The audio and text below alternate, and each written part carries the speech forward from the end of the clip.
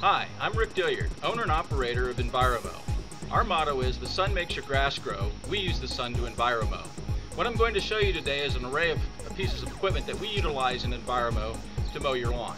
What we have here are some solar panels. These solar panels are basically a 45 watt system that allows us to, to collect the, the energy from the sun, convert it to electricity, and then put that into a storage cell or a battery technology that allows us to recharge our, our lawnmowers.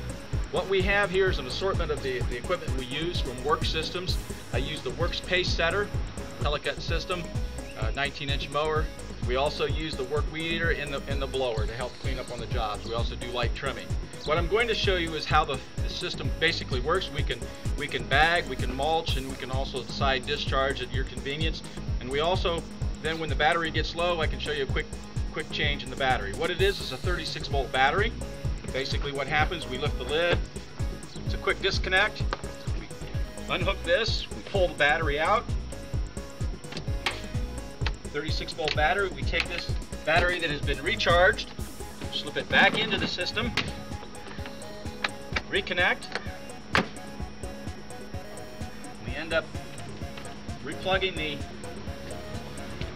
used battery into the solar panel, we'll be continuing to charge and then we can continue to mow. EnviroMow, we also offer light trimming. We use the entire system from Worx. Basically, we have a weed string trimmer, blower, and hedge trimmer.